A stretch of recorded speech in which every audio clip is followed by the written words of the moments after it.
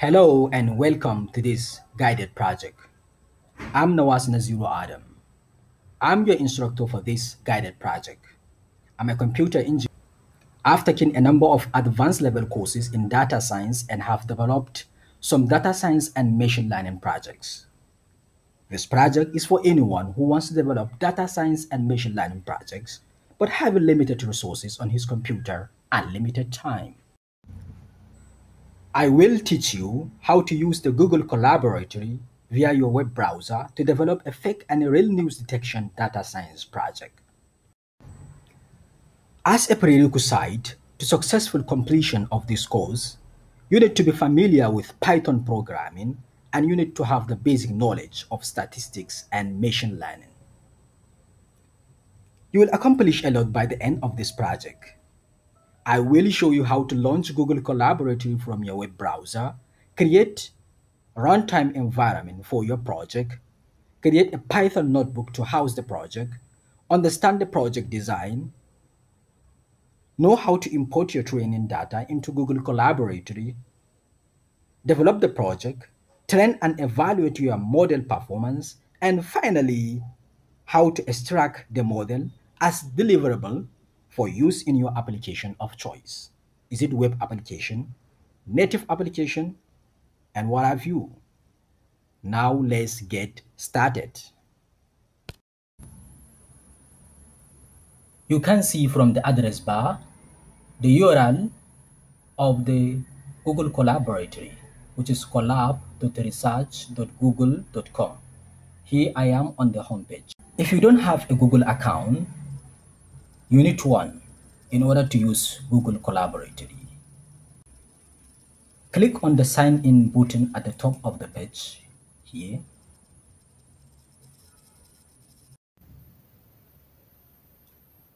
If you don't have if you don't have a Google account, you can create one by clicking on this create account link and you follow the on-screen prompts to finish creating your account.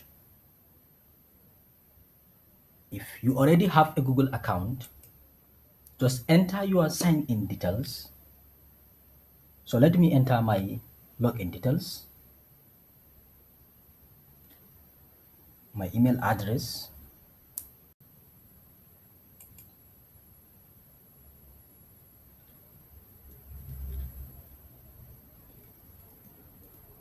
Nawaz Naziru at at gmail.com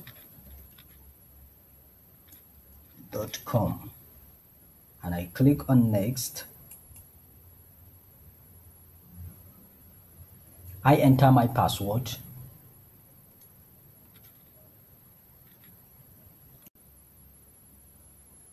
Okay I need to be verified. So I choose uh, to receive text on my phone in order to finish the verification process. 621 621 425 and I click on next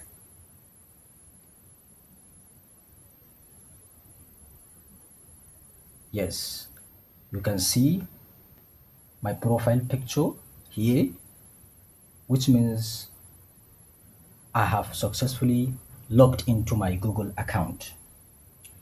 Uh, you do not need any credit card to use Google Colaboratory provided it is for a fair use as in the case of this project.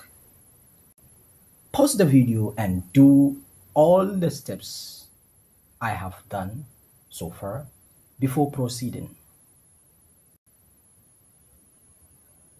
You can import already existing uh, Jupyter uh, Python notebooks from Google Drive under this tab or from GitHub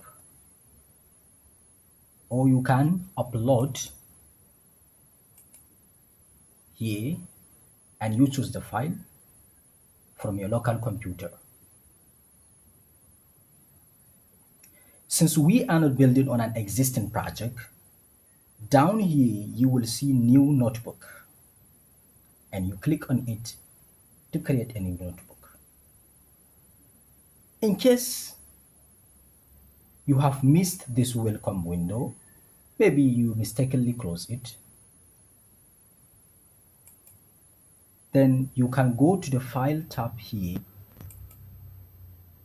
You click on the file tab and choose new notebook. New notebook here and you click on it. Uh, the new notebook will be automatically saved on your Google Drive account. In fact, your Google Drive account automatically becomes storage for your Colab workspace. At the top of the page here, here, click on this, you see this untitled and rename the notebook with the name of your choice. And let's give it the name of the project and you just hit enter and you can see the, new, the notebook has been renamed to fake and real news detection which uh, corresponds with the name of our project. Uh, for faster training, especially if the dataset for training your model is large, you need GPU in your runtime environment. So click on runtime at the menu bar here. You can see change runtime type here. And then you select GPU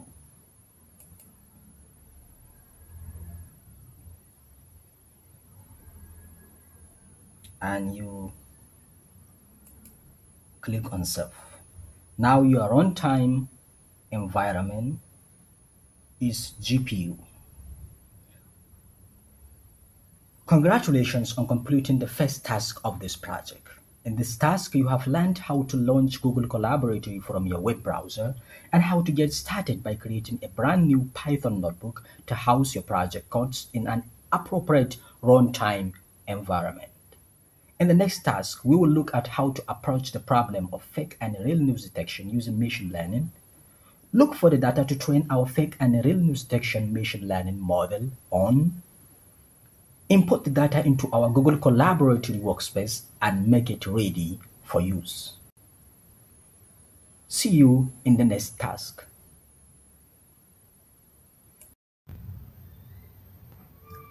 Hello and welcome back.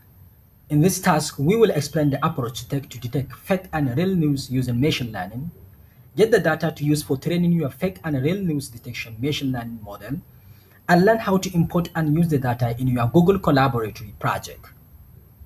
Using the design principle of keys, keep it simple stupid, the simplest way to identify fake or real news is by its title without having to go through the content. This is exactly what we are going to do. We are going to train a machine learning model to learn how to identify news as either fake or real news by just the news title or the headline. Thus, basically, this is a binary classification problem.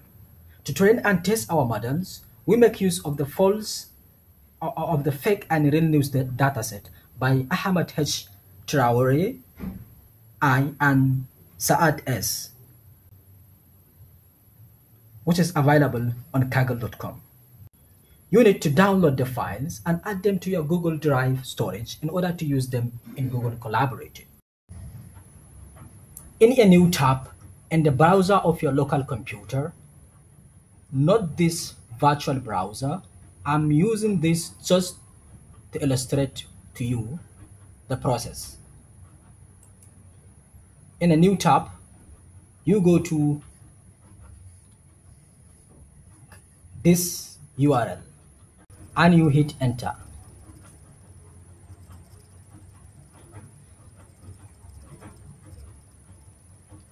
when you land on the page here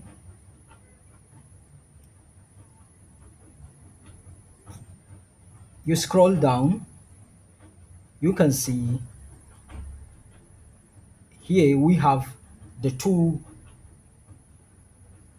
training data the fake.csv and the true.csv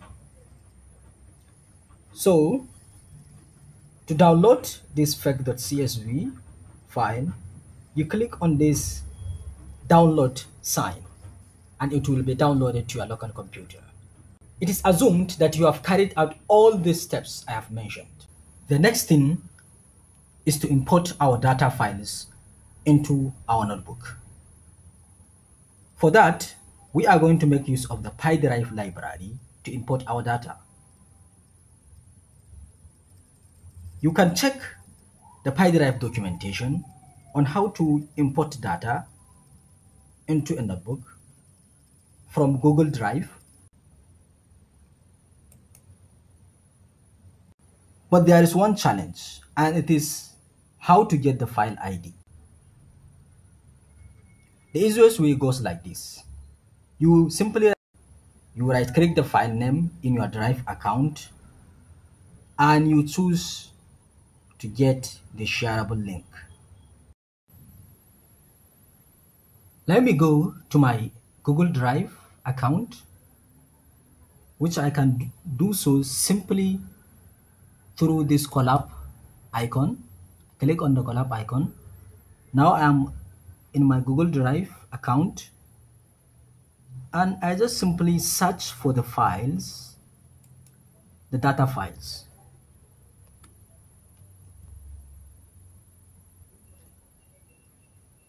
I search for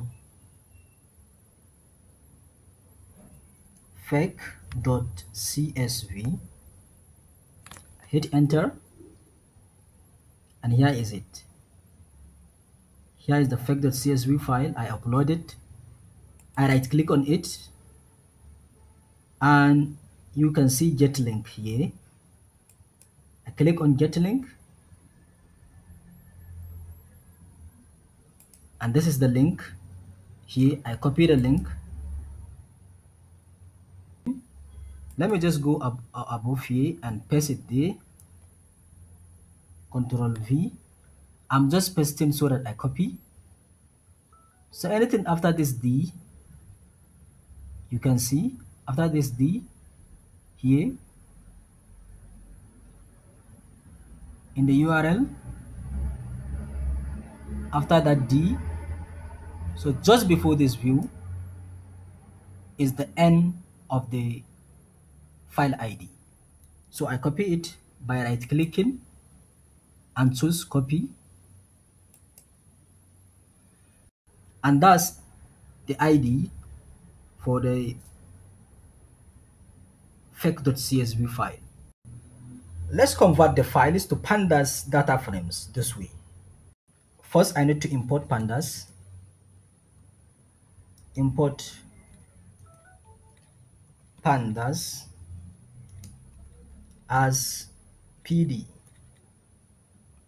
the df the df fake news data frame which is a collection of fake news in the form of data pandas data frame and the df true news which is a collection of real genuine news data in form of a pandas data frame as well in this task, you learned a simple approach to take to take fake and real news using machine learning. You also learned how to get the data to use for training your fake and real news detection machine learning model, and learned how to import and make the data ready for use in your Google Colaboratory project. In the next task, we will have an overview of the basic tools in the menu bar and sidebar of the Google Colaboratory Jupyter Notebook. This, this is to equip you with the necessary tools you need to accomplish the upcoming project task. Goodbye and see you then.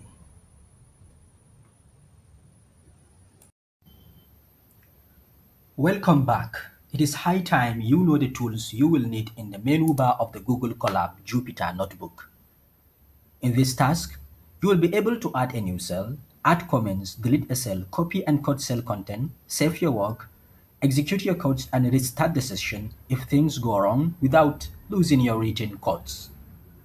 To add a new cell and you scroll up, you see this plus code sign and you click on it to add a new cell. So you see a new cell has been added or alternatively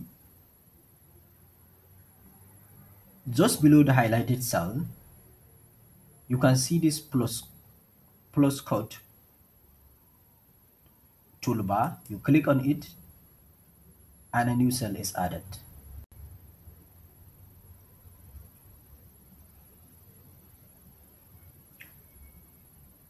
The plus code main function is to add a cell below a selected cell. You can as well use the insert tab to add a new cell below or above from the options there like this.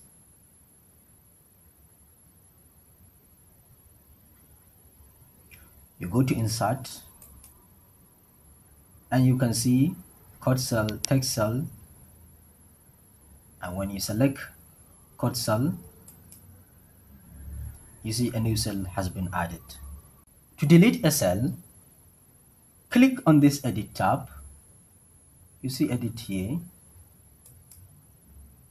At the top. And select delete cells. You can see delete selected cells here. There you will see other options you can use like cut you can see cut cell or selection. You can see paste you can see select and others you can as well do find and replace. Your work is saved automatically from time to time. But to avoid unexpected problems you have to be saving your work after some time whenever you remember doing so. To save your work immediately you click on the file tab and then select save file tab and below you see and among the options use itself.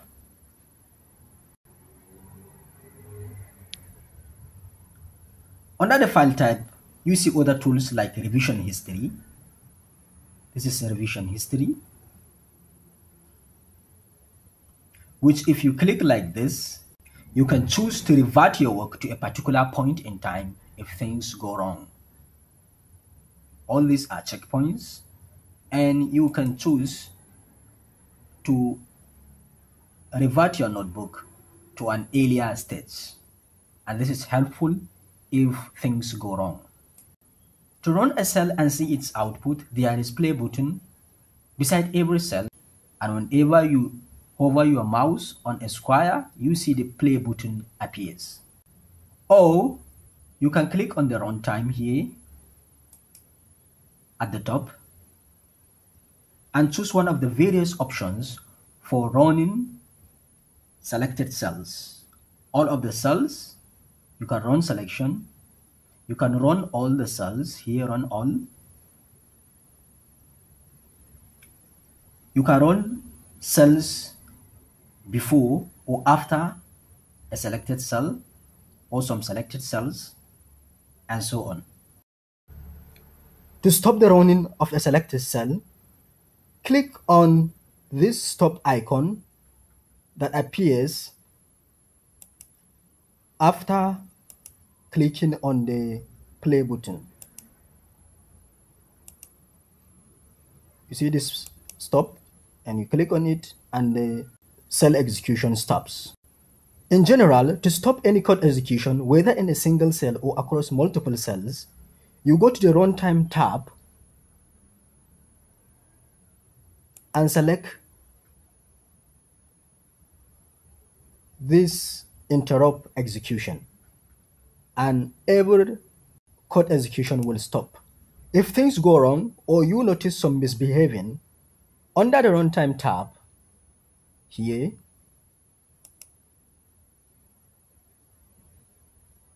you can choose to restart the runtime or to factory reset the runtime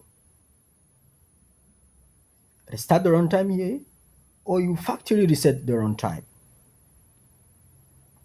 The difference between the two is that the latter, in addition to deleting your local variables, it also deletes your files as well. But in both, your written codes remain intact. Not all cells will contain codes. We would like to have some text in our notebook for titles, explanations of things as comments, and discussion of our choices as we write our codes. This is where this plus text tool comes in handy.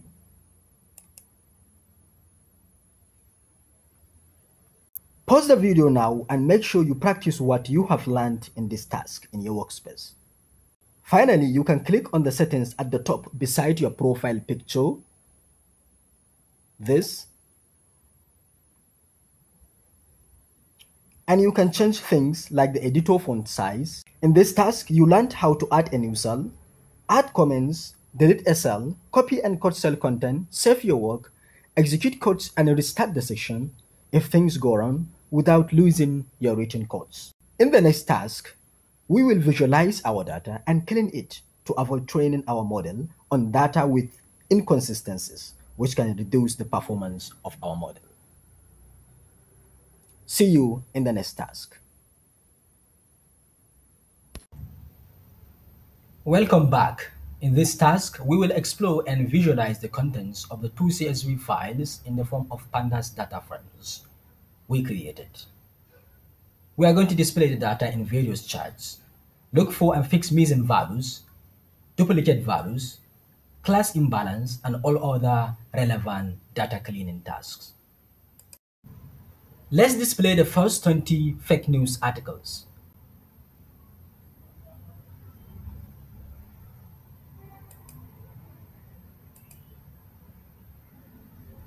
So type df underscore fake underscore news dot head first 20 in bracket unless run the code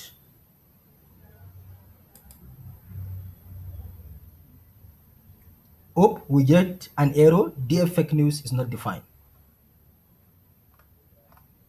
Remember that we have not run any code before, so we need to run all the above codes first. So I go to runtime and I choose run all. Okay, I need to enter my verification code in order to proceed. So I click on this link. I choose my Google account. I type in one of the two codes and I click on next. This is asking for my permission, agreed and allow. This is the code I need. I copy it and then I go back and paste it here inside this box this box inside this box that says enter verification code so control v and then i hit enter.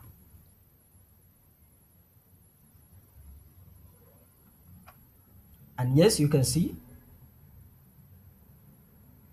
the authentication process has finished and the other cells are running.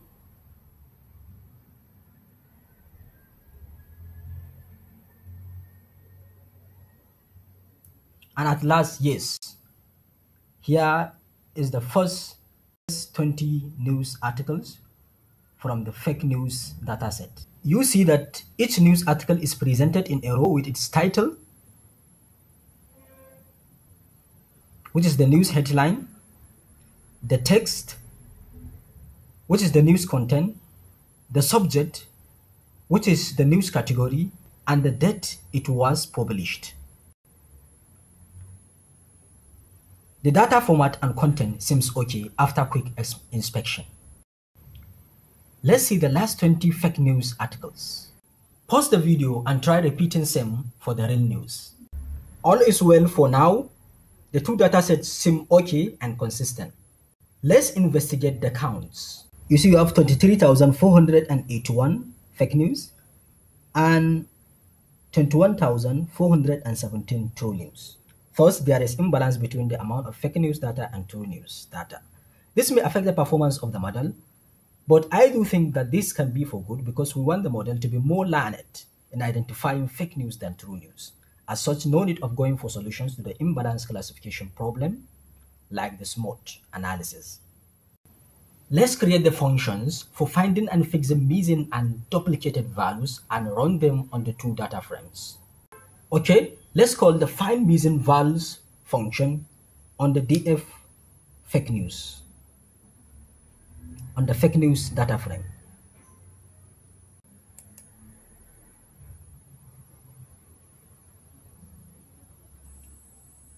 Well, I have not run the function definition. Let me run.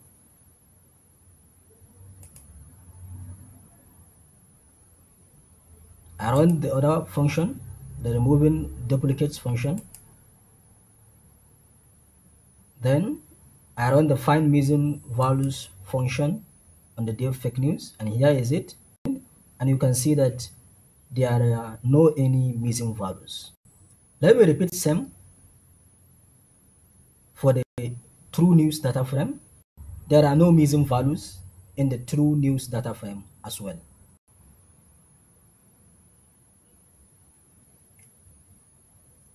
So there were three duplicates and they were removed and that's nice. Let me do some for the true news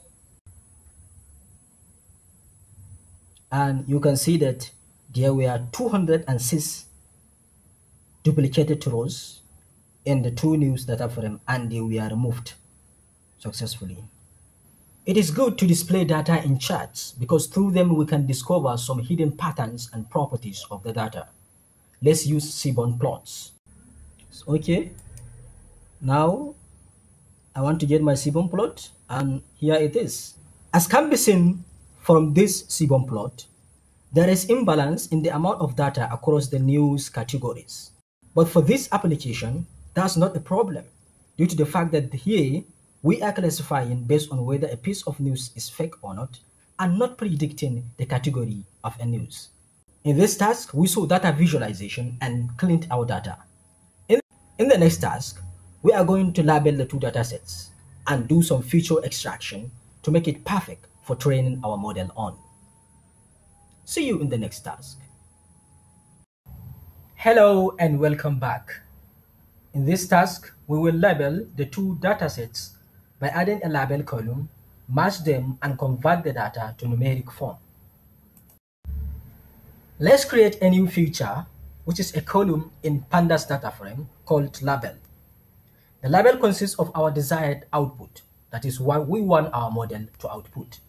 If fake news, the label for that row should be 0, and if real genuine news, it should be 1. That's what we are going to train our model to learn. So let's add a new cell and write the code for that.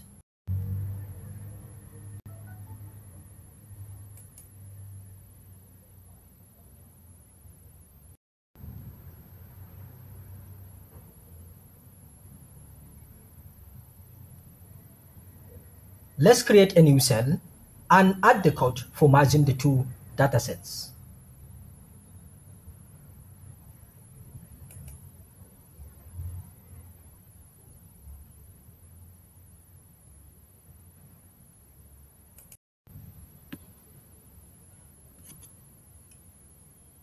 Computers, as their name suggests, understand things only through calculations, and we can't do calculations with text, only numbers.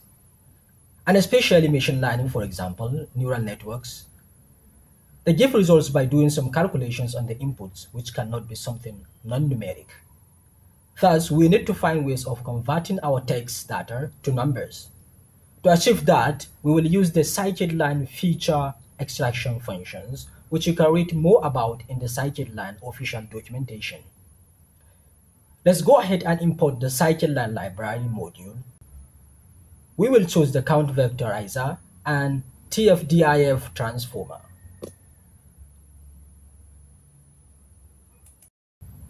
Before we proceed, pause the video and do what we have done to this point. Let's add a custom function to remove punctuations and stopwords, which do not make much difference in machine learning task. I named the custom function text process.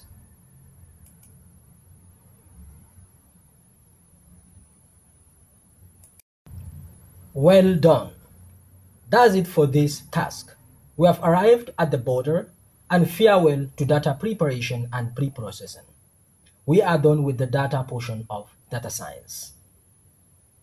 In the next task, we are going to see the real stuff, the machine learning aspect of data science, where we build and train a model to learn how to identify fake and real news.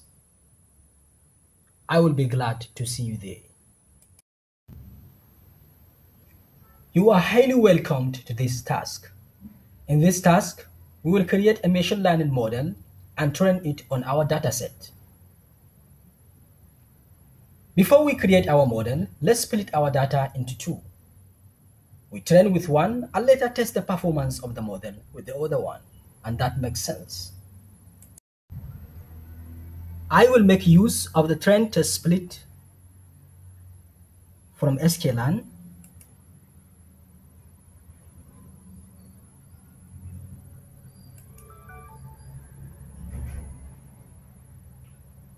I say from sklearn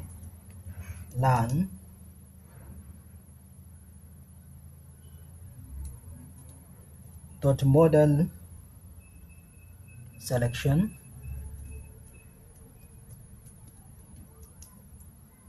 import train test split Xtrain contains the input training data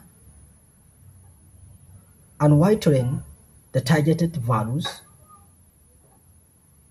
Xtest contains the input test data and ytest the targeted test values. To train our model, let's try the scikit-learn library deep learning model called the multi-perceptron classifier. Multi-perceptron neural network is one of the best when it comes to binary classification problems. Here is the MLP classifier from scikit-learn. For the sake of reusability and ease of change of parameters, let's put everything in a pipeline. We are going to put the count vectorizer, the TF-IDF, the model, and others. I have now put everything in a pipeline and name it news classifier. Finally, let's train the model on our data using the fit method.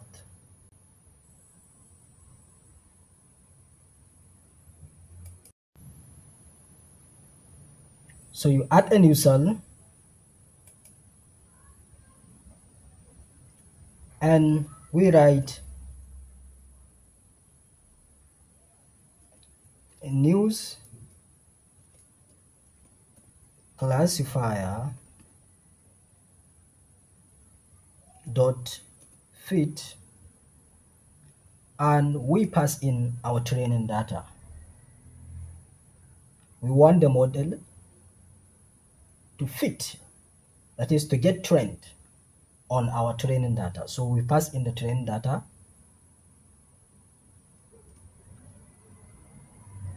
xtrain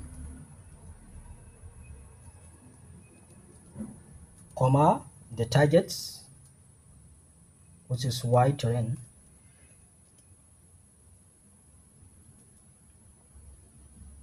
and we run. But before that we created functions and variables that the model needs to train with. And we didn't execute those functions and variables. As such Let's simply run all the cells in the notebook. So let me go to runtime and choose run all. I need to enter the verification card from Google again. So let me click on this link. Choose my account. Yes, it's me. I click on allow to give permission and I copy the code and go back and paste here. And hit enter.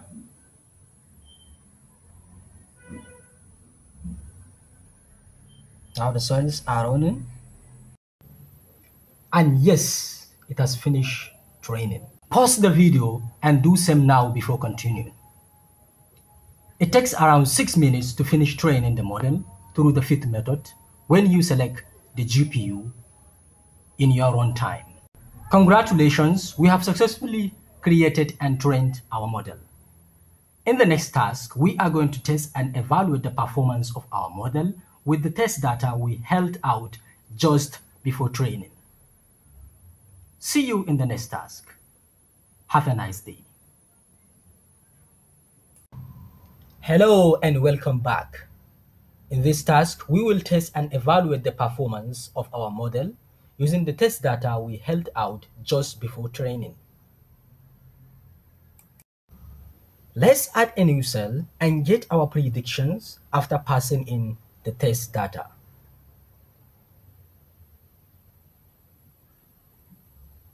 So I add a new code cell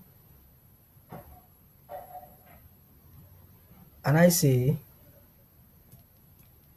predicted which is a variable to hold my predictions equals to my model which is news classifier dot predict.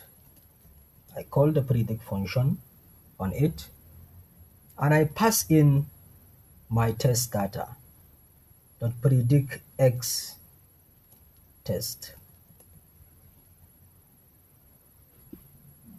Does it?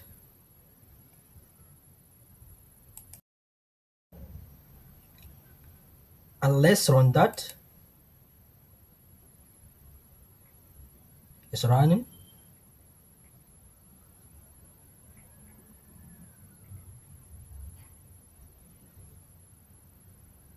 and yes it's done without any problem. So my predictions are assigned have been assigned to predicted now let's compare the predicted values with the actual values and get our performance scores. For that i'm going to use the sklearn classification report. So i add a new a you code cell and I say from sklearn dot metrics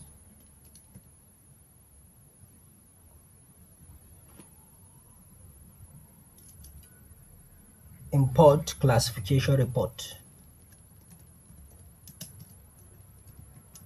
classification. Report.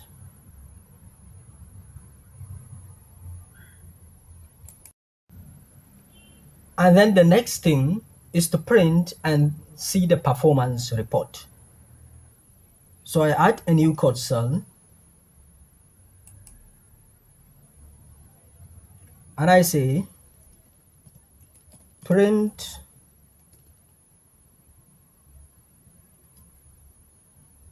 Classification.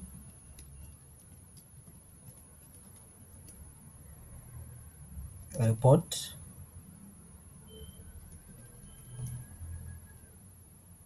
And I pass in the predicted values. The values the model predicted as this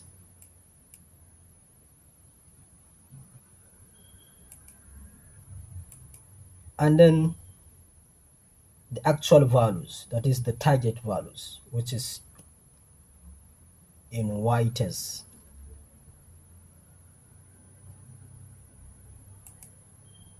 it will make comparison between the model's predicted values and the actual values which is ytest and then it will print the performance scores So let me, I've not run this. Now classification report has been imported from sklearn.metrics and then I'll run and this is my classification report. We can see that almost all the performance metrics are at the high end. You can see one everywhere, precision, recall, F1 score, everything approximately one, i.e. almost 100% in all aspects. And that's really great. Pause the video and practice in your workspace now before proceeding. Hope you do that. In this task, we have tested and evaluated the performance of our model and it did great. In the next task, we will see how to save our trained model and download it for use in our application of choice. Hello. In this task, you will learn how to save your trained model and download it for use in your application of choice. Let's add a new cell and write the code for saving our model. We are going to use the joblib library. So let's import it first.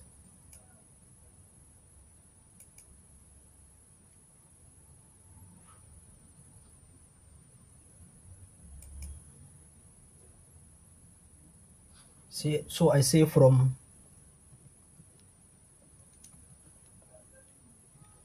sklearn dot externals.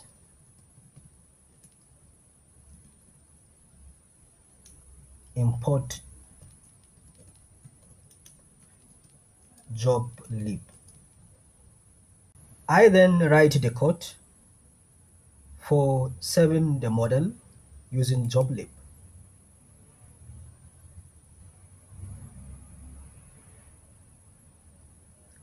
So I say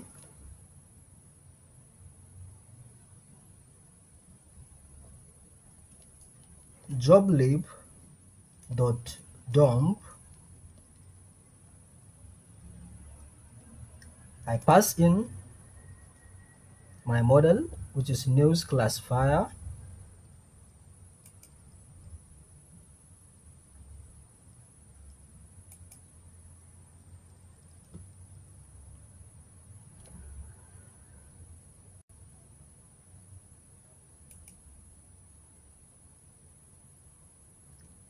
comma I pass in the name I want to give the saved model.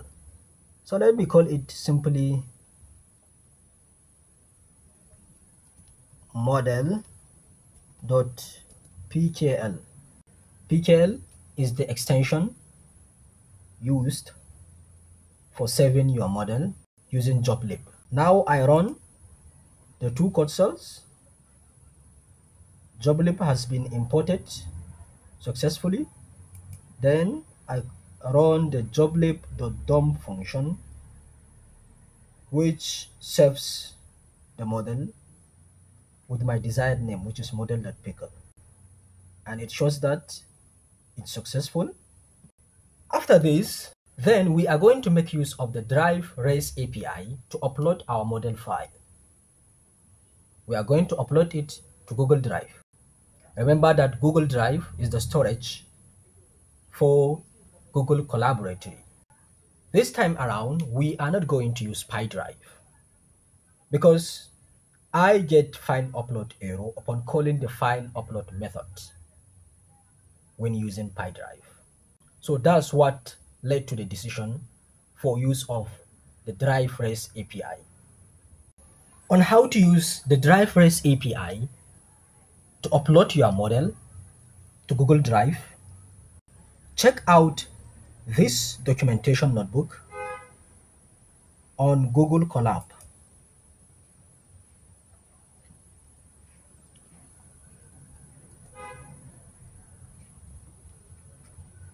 go to this address Let me add two new code cells to import and use the Drive REST API in order to upload the model.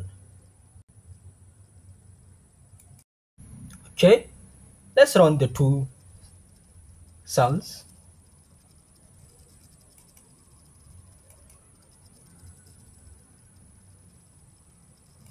Then this. Yes. You can see that the model has been saved in my Google Drive account and this is the file ID. To download the model, you simply go to your Google Drive account and search for the name you saved the model with, which is model.pkl. And you download it to your to a local folder on your computer. So let's try that. Let me go to my Drive account.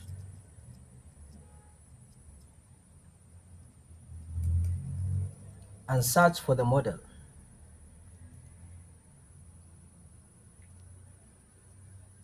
I save it with model dot pkl and then I hit enter. And yes it has been saved actually. Here it is. Model.pkl so with this I can just simply download it.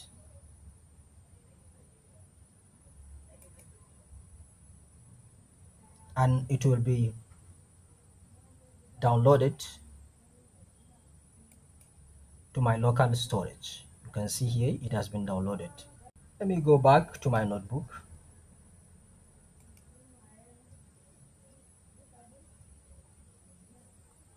Pause the video and do all I have done to this point. In this task, you have learned how to save your trend model and download it for use in your application of choice. In the next task, I will show you how you can make use of your model in your application of choice. See you there.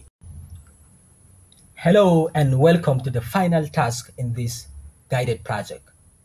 The journey has been fascinating in this task, you will learn how to use your model in a real-life application. All you have to do is to import and load the downloaded model file you got in the previous task. Here is a snapshot of what I did in my Flask Python web application that predict that predicts whether a news is fake or real.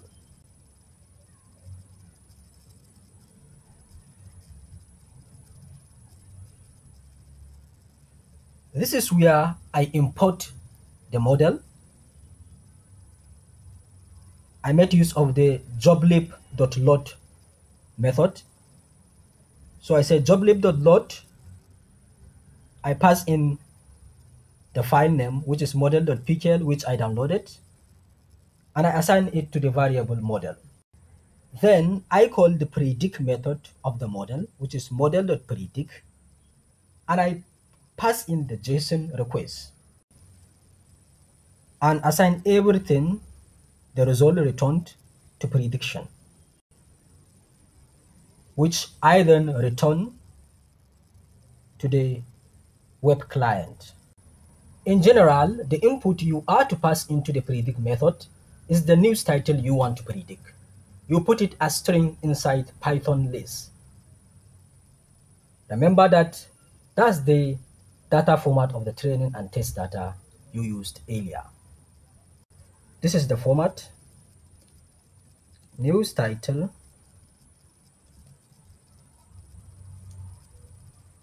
equals to, you put the news title in a string and inside a Python list.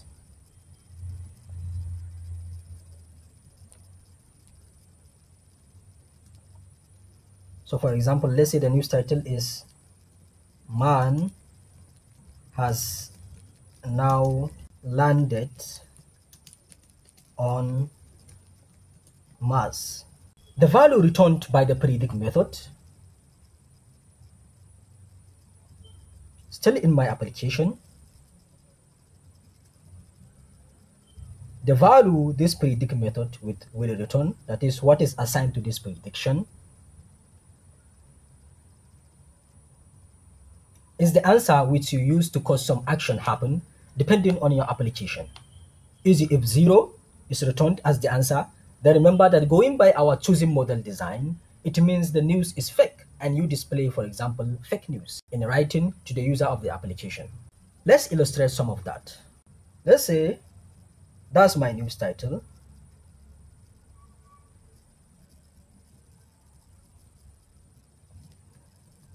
And let me try using my model to predict the category of this news title, which reads man has now landed on Mars. Let's see what the model will return. So let me say prediction, that is what my model will return equals to I call my model news classifier. Dot predict. And then I pass in this news title. Man has now landed on Mars which is which has been saved in the news title variable I created above. So I say news title so to see the answer let me use print I say print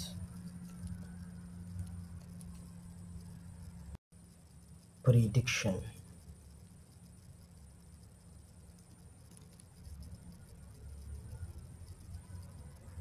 And let's run that.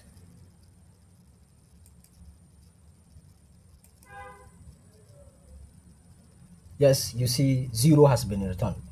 And based on our model design, zero means fake.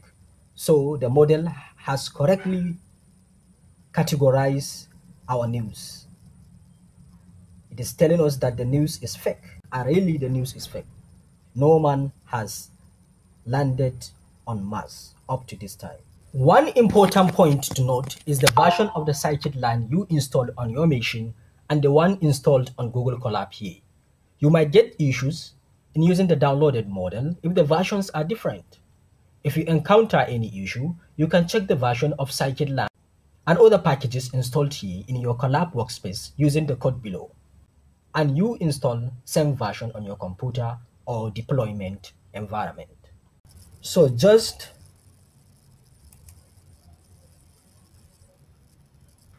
just write